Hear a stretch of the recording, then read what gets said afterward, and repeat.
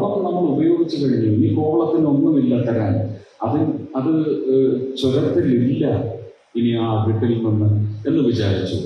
ആ അകിടിനെ നമ്മളൊന്ന് റെപ്ലനിഷ് ചെയ്തെടുത്ത് പുതിയ കോവളം എന്ന് പറഞ്ഞ് അവതരിപ്പിക്കാൻ കഴിയുന്ന ഒരു പ്ലാറ്ററിലേക്ക് പദ്ധതിയുണ്ട് സംസ്ഥാനം. സഹകരിച്ചാൽ മതി. വലിയ സഹായം ഉണ്ടായില്ലെങ്കിലും സഹായിച്ചില്ലെങ്കിലും പിന്തുണച്ചിലും ഇല്ലെങ്കിലും കുഴപ്പമില്ല. എതിർവാദങ്ങൾ ഉന്നയിച്ച് ഹേർഡിൽസ് സൃഷ്ടിക്കാതിരുന്നാൽ മാത്രം മതി. ഇതൊക്കെ നേരത്തെ ആകാമായിരുന്നു എന്ന് തന്നെയാണ് എനിക്ക് തോന്നുന്നത്. ആരും മോശക്കാരല്ല. പക്ഷെ മോശത്തിലേക്ക് വഴിതിരിക്കപ്പെടുന്നതിന് രാഷ്ട്രീയം കാരണമാവരുത്. കാരണം രാഷ്ട്രീയക്കാരുടെ പേരിൽ നിങ്ങൾക്ക് നിങ്ങളുടെ വീട്ടിലിരിക്കാം നിങ്ങളുടെ സ്വന്തം കാറിൽ സഞ്ചരിക്കാം നിങ്ങൾക്ക് ഇഷ്ടമുള്ളതെല്ലാം ചെയ്യും. പക്ഷേ ആ രാഷ്ട്രീയം നിങ്ങൾക്ക് നേടിത്തരുന്ന സ്ഥാനമാനങ്ങളിൽ ഇരുന്നു കൊണ്ട് രാഷ്ട്രീയം പ്രത്യയശാസ്ത്രം ചിന്തിക്കാനുള്ള അവകാശം നിങ്ങൾക്കില്ല.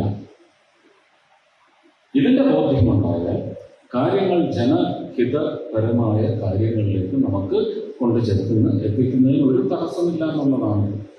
ഞാൻ എന്റെ പ്രാഥമിക പഠനങ്ങളിൽ നിന്ന് പെട്രോളിയം മിനിസ്ട്രി ആയാലും ടൂറിസം മിനിസ്ട്രി ആണെങ്കിലും ഞാൻ മനസ്സിലാക്കി. അപ്പോൾ അതിനൊക്കെ മുന്നേറ്റമുണ്ടാവും. പ്രധാനമന്ത്രി മോദി ഇലക്ഷന് മുമ്പ് കേരളത്തിൽ പോളിംഗ് കഴിഞ്ഞു മാത്രമാണ് ഇന്റർവ്യൂ സിന്ധു ശ്രീകുമാറിന് കൊടുത്തതിനകത്ത് കേരളത്തെക്കുറിച്ച് പറഞ്ഞപ്പോൾ വാചാലമായി സംസാരിച്ചത് ഒറ്റക്കമ്പുണങ്കാണ് ടൂറിസം. ഇപ്പൊ എനിക്ക് മനസ്സിലാക്കുന്നു എന്നെ അവിടെ കൊണ്ട് ചെന്നെത്തിയത് ഇങ്ങനൊരു പ്ലാൻ അന്നുണ്ടായിരുന്നു അദ്ദേഹം പ്രചരണത്തിന്റെ അവസാന ഘട്ടത്തിൽ ഏപ്രിൽ പതിനഞ്ചിന് അവിടെ ആലത്തൂർ മണ്ഡലത്തിന്റെ ഒരു ഭാഗത്ത് വന്ന് തൃശ്ശൂർ അടക്കമുള്ള അഞ്ച് മണ്ഡലങ്ങൾക്ക് വേണ്ടി പ്രചരണത്തിന് ഇറങ്ങിയപ്പോൾ ആദ്യം എന്നെ കണ്ട് തോളിലൊക്കെ കൈപിടിച്ച് മുറുക്കിയിട്ട് എന്തോ സംസാരിച്ചില്ലേ എന്താണെന്ന് എല്ലാവരും ചോദിച്ചു. അന്ന് എനിക്കത് പറയാൻ അനുവാദമില്ല.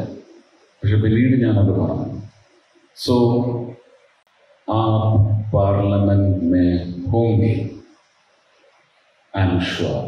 I know you are coming to parliament എന്നത് പറഞ്ഞതും ഈ ടൂറിസം കേരള എന്ന് പറയുന്ന ഒരു സ്കേപ്പിനെ കുറിച്ചും ഇത്രയും വാചാലതയും ഞാൻ കൂട്ടി വായിച്ചപ്പോഴാണ് പലപ്പോഴും ഇതിൽ നിന്നെല്ലാം റിലീവ് ആവണമെന്ന് എനിക്ക് തോന്നിയിട്ടും എനിക്കതിന് പറ്റാത്തത് അതുകൊണ്ടാണ്. ആ പ്രധാനമന്ത്രിയുടെ ആർജവം അദ്ദേഹത്തിന്റെ ഒരു ഡിസൈനിനെ തകർക്കുന്ന തരത്തിൽ ഞാൻ വഴിതിരിക്കപ്പെട്ടു പോകരുത് എന്ന് പറയുന്ന പ്രാർത്ഥന മാത്രമാണ് എന്റെ ഈ സ്വന്തം കുടുംബത്തിൽ നിന്നും ഈ കുടുംബത്തെ ആദരിക്കുന്ന വിവിധ മേഖലകളിൽ പെടുന്ന വിവിധ രാഷ്ട്രീയ വിശ്വാസങ്ങളിൽ പെടുന്ന വിവിധ മതവിശ്വാസങ്ങളിൽ പെടുന്ന എല്ലാവരും ഈ ഒരു സംഗമത്തിലെ എല്ലാ അംശങ്ങളെയും ആദരിക്കുന്നുണ്ട് അവരെ അംഗീകരിക്കുന്നുണ്ടെങ്കിൽ അവരുടെ എല്ലാം പ്രാർത്ഥന എനിക്കുണ്ടായാൽ എന്റെ ഈ പദവി കൊണ്ട് എനിക്ക് ഒട്ടുമേ ഗുണമുണ്ടാകരുത്.